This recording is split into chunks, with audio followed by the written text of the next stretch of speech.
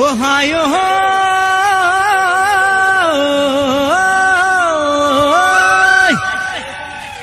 দমাটি কাকজান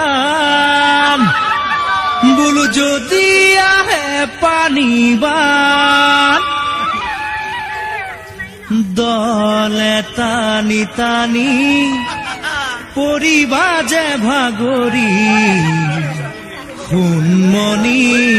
সোণমণি বুজিছানে অ সোণমণি বুজিছানে অ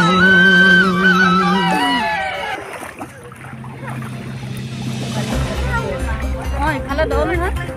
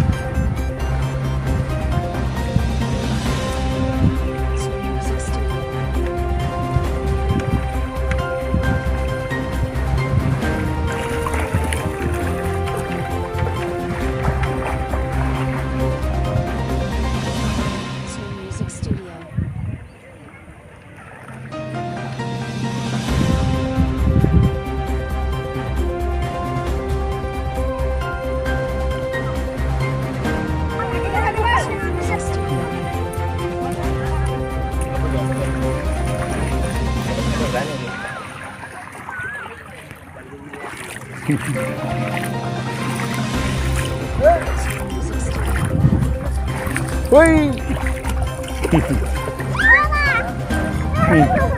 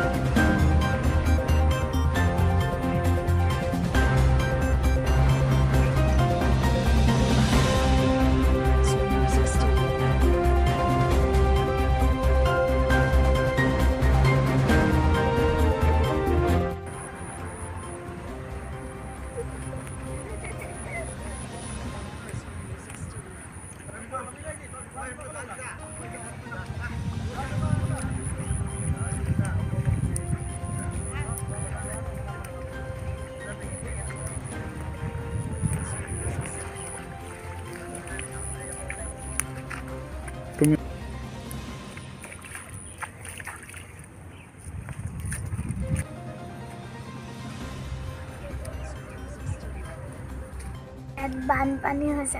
হে, এই ৰাস্তাইদি তোমালোকে এতিয়া জোতা পিন্ধি যাব নোৱাৰা নেকি? হে? এই কেতিয়াৰ পৰা নোৱাৰা? তোমালোকে কিমান দিনৰ পৰা এনেকুৱা হৈছে? আনকালেও তোমালোকে এনেকুৱা মানে বাৰিষা দিনত এনেকৈ জোতা পিন্ধি খুলি আহিব লাগে নি? হে? কিমান দিনলৈ এনেকৈ অহা যোৱা কৰিব লাগে?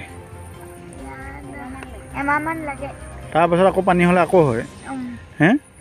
শুকালেহে তোমালোকে জোতা মোজা পিন্ধি যাব পাৰা। তুমি কোন শ্ৰেণীত পঢ়িছা? কোন স্কুলত পঢ়িছা? পঁচিছ ছাব্বিছ বছৰমান হ'ল। পঁচিছ ছাব্বিছ বছৰ এনেকুৱাই হৈ আছে। তাৰপৰা আমাৰ কণ কণ ল'ৰা ছোৱালী মানে শিক্ষা দীক্ষালৈ যাবলৈ হ'লে মানে বৰ অসুবিধা হৈছে। তাৰপৰা তেনেকৈ আজি দহ বছৰমানৰ আগতে এনেকুৱা পানী হেৰি হওঁতে ছোৱালীজনী হানিও হৈছে। তাৰপৰা আপোনাৰ আমাৰ মানে কি হ'ল এতিয়া অসুখীয়া মানুহ দুজনেই আছে ঘৰত। এতিয়া মেডিকেললৈ নিয়া হয় কেনেকৈ? এনেকুৱা যদি পানীও হৈ থাকে। পানীৰ পৰা মানে কি হ'ল ঘৰলৈ মানে গাড়ীখনে তেওঁকতো এতিয়া বকুচত আনিব নোৱাৰে তেওঁক বহুত অসুবিধা তেনেকৈ হৈছে। তাৰপিছতে মন্ত্ৰী এম এল একো কোৱা হৈছে। যে তেওঁলোকে দেখোন ইয়াতে কৈ থৈ যায় দেখোন হ'বই পথটো এতিয়া বনাই দিম বনাই দিম এনেকৈ বুলিও কৈ থৈ যায়। তাৰপৰা দেখোন ক'তা আজি চচকীয়া ডাঙৰীয়া আছিলে তেওঁ তেওঁতো এতিয়া নায়েই। তেওঁ কৈ থৈ গ'ল হ'ব বুলি। তাৰপৰা পৰা আমাৰ যোগেন মোহন ডাঙৰীয়া তেওঁ ক'লে এইটো পথ মানে তেওঁ যেতিয়া জিকিলে জিকাৰ লগে লগে তেওঁ ক'লে যে এই পথটো বনাই দিম। তেওঁতো একো খা খবৰেই নাই। তেনেকৈ আমি মানে বহুতখিনি কৰিছিলোঁ যা যোগাৰ হ'ব বুলিয়ে ভাবিছিলোঁ। কিন্তু আমি যথেষ্টখিনি কষ্ট পাইছোঁ। গতিকে মানে অসম চৰকাৰলৈ আমি জনাইছোঁ যে এইটো ৰাস্তাটো কিবা এটা আবেদন নিবেদন কৰি পিনি মানে আমাক মানে বনাই দিয়ে। পৰা মানে মোৰ আজি বিয়া হোৱা পোন্ধৰ বছৰ হৈছে।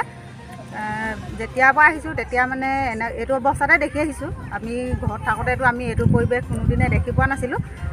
বিয়া হৈ আহি দেখিছোঁ যে এইটো পৰিৱেশত মানে আমি কেনেকৈ ওলোৱা সোমোৱা কৰিম আমাৰ ল'ৰা ছোৱালীৰ ভৱিষ্যত আছে। এতিয়া অহাৰ পৰা দেখিছোঁ গোটেই বানপানী। বানপানী হয় তাৰ উপৰি অলপ বৰষুণ হ'লে বোকা হয়। মানে আমি কোনোদিন চেণ্ডেল লৈ মানে চেণ্ডেল পিন্ধি আমি ৰাস্তালৈ আহিব নোৱাৰোঁ।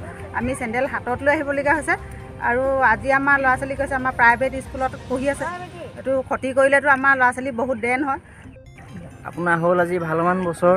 তাকে মই ক'ব যাওঁ আপোনাৰ তাৰমানে কি এতিয়া আমাৰ এনেকুৱা এটা পৰিস্থিতি পৰিছে যে আমি বেমাৰী মানুহ এতিয়া তাৰমানে নিবলৈ আমাৰ কোনো সুবিধা নাই।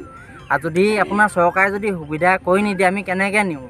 এইটো পথ আপোনাৰ কিমান বছৰৰ পৰা আমাৰ সেই নিবেদন কৰা হৈছে হেৰি কৰা হৈছে আপোনাৰ পথখিনি বনাবৰ কাৰণে। কিন্তু সেই চৰকাৰে কোনো গাত লোৱা নাই। তো তেনেকুৱা চৰকাৰ এখন থকাতকৈ নথকাই ভাল আছে তো তেনেকুৱা চৰকাৰ আমাক দৰকাৰ নাই। নালাগে।